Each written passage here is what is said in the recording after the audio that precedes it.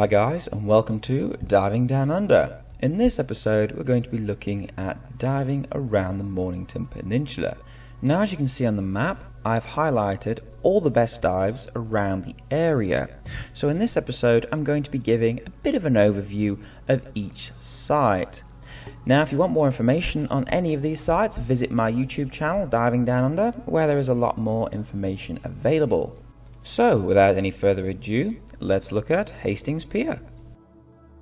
Hastings Pier is a really easy, nice, relaxing dive.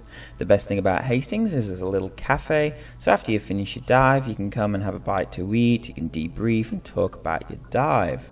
Maximum depth is around 5 meters. Just be aware though, guys, that Hastings does have a silty bottom, so if the weather is bad, the viz will be poor as well. There is a little wreck about 250 meters from the pier, However, if you do go to the wreck, guys, make sure you tow a dive flag as you'll be going straight across a boating channel. So overall, it's a good dive, however, I wouldn't recommend it for beginners. Now Flinders Pier is the number one shore dive site in Melbourne. So why is it number one?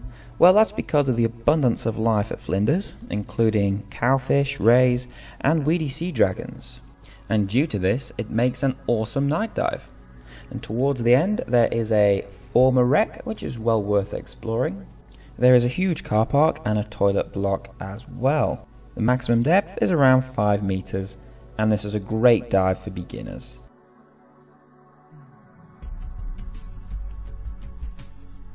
Now the blowhole is a really interesting dive it's about 3 kilometres outside of Flinders town. There is a tunnel that runs through the head rock to the other side. However, make sure the weather is calm on the day you dive because this particular site is subject to changeable conditions.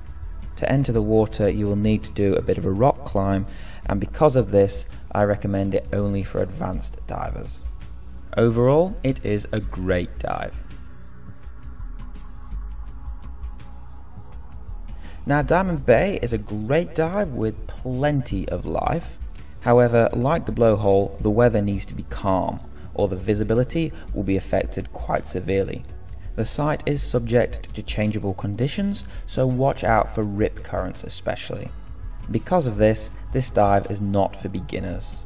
It is a bit of a walk from the car park, but the site itself is well worth it. Maximum depth, you're looking around 7 meters.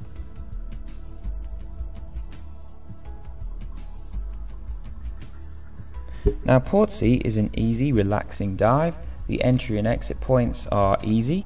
The maximum depth is around 5 meters and there is plenty of life here which also makes a great night dive. It's easy to navigate which makes it great for beginners.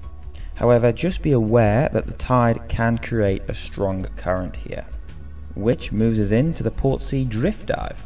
With this dive, the current can be used to drift us across to Point Franklin Reef. This dive is only recommended for advanced divers.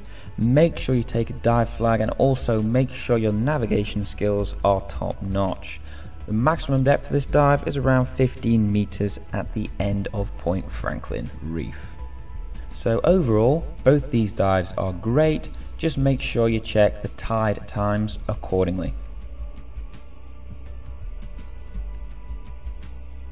Now, like Portsea, Blairgowrie is a very easy, relaxing dive, and it has its own entry and exit pontoon, which makes it very safe as well. Now, 14 meters depth is possible at this site if you carry on past the wall. However, if you do go past the wall, just take a dive flag with you, just in case. Now, current does affect this site, especially past the wall, so taking that into account when you're doing your navigation. There is lots of life at this site, which does make an awesome night dive.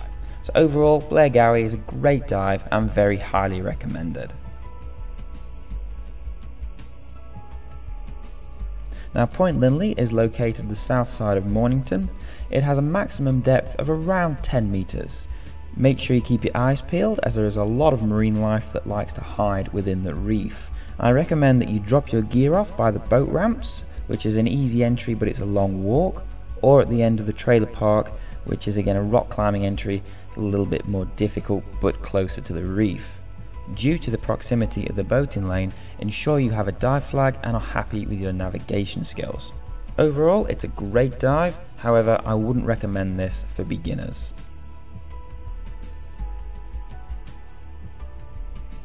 Now Mornington Pier has been remodeled and is due to finish in early 2017. At this dive site you can have two dives, one on the pier and one on the reef which is to the left of the pier. The entry and exit is easy and there is plenty of life to see. However, just ensure that you do take a dive knife with you due to the amount of fishermen in the area. At the end of the pier, you're going to get around 10 meters depth and it makes a great night dive. Overall, highly recommended, easygoing dive. Well, that's it for this episode, guys.